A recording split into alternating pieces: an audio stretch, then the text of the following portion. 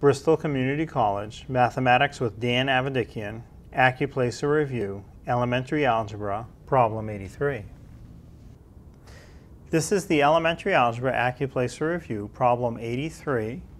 We have the cube root of 27a cubed b to the sixth power equals which one of four options that are listed below.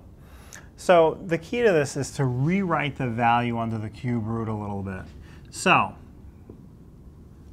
let me keep the cube root, but I'm going to write things a little bit differently. 27 is 3 to the third. So 3 times 3 times 3 is 27.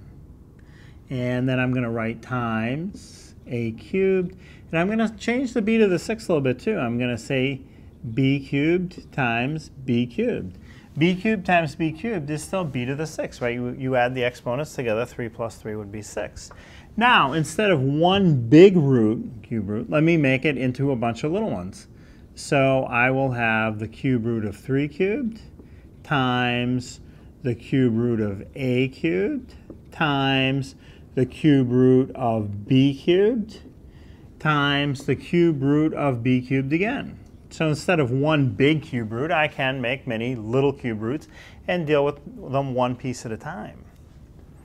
And again, the reason I can do this is because it's multiplied underneath the cube root. If it was a plus or a minus, I'd have to keep it as one big root. Then I couldn't split it up. But in this case, I can.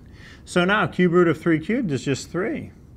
Cube root of a cubed is just a. And again, these are multiplied. Cube root of b cubed is just b. And cube root of b cubed, again, is just b. The third power and the cube root undo each other. And now 3 times a times b times b again, I can simplify to 3 times a times b squared.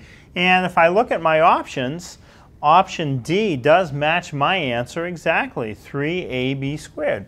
So the answer to this problem is option D.